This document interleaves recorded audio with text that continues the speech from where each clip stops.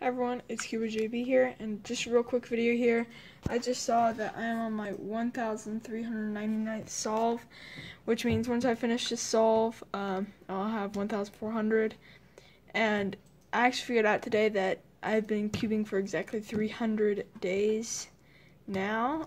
Uh, so, yeah, 300 days exact now, and uh, that if I divide that up, is about five solves per day for 300 days.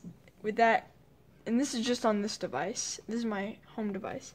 I have other devices that I cube on, but uh, just this device, it's around an average of five solves per day.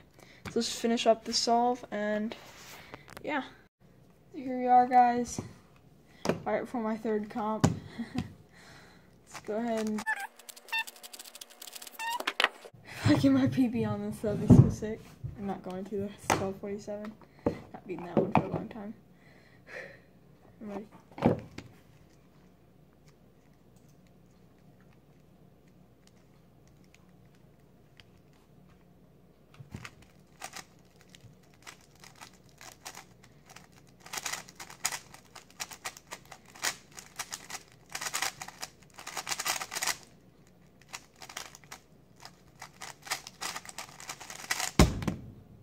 1523. That was a good solid solve.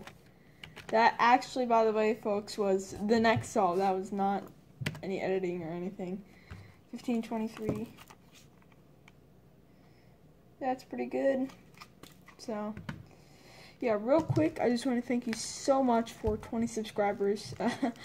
I know it's not much, but we will continue to grow and we'll be able to reach some more people.